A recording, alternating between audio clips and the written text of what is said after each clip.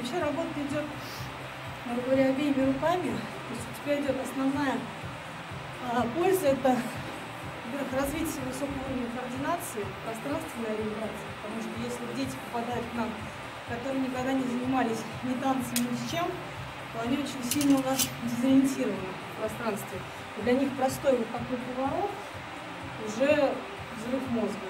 Поэтому здесь Я не уверен, что я бы смог повторить с первого раза. Работа Вот- со статью, вот броски это работа со страхом, опять же, умение разглядеть объект, такая, знаешь, фокусировка, остановка времени в каком-то плане. Плюс с разных, а, с разных плоскостей идет работа, плюс работа на оси. И основное это работа со статью. То есть ты не наклоняешься, ты держишь осевую линию. Вот. Если ты делаешь какие-то броски, остаешься на осевой линии всегда. То есть твой центр это твоя ось, а не, например, там, ручку шашки, когда делают вот так вот. Я понял, понял.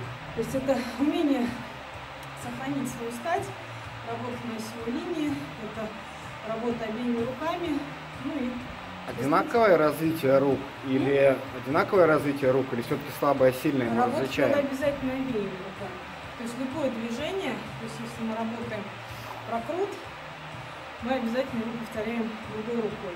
И когда мы осваиваем элементы одной рукой, и другой рукой, мы берем эти шашки и начинаем синхронизироваться. Одна рука, вторая рука пошла.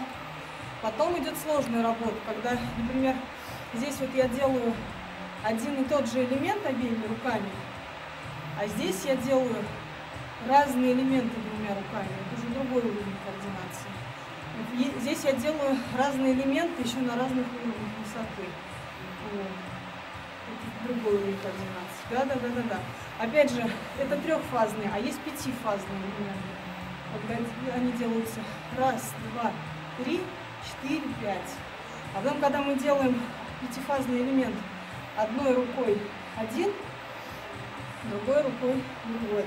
Вот здесь уже еще сложнее уровень идет. Вот. Ну, То есть это очень такой хороший заряд для ума. Вот. Ну, пока так. Спасибо.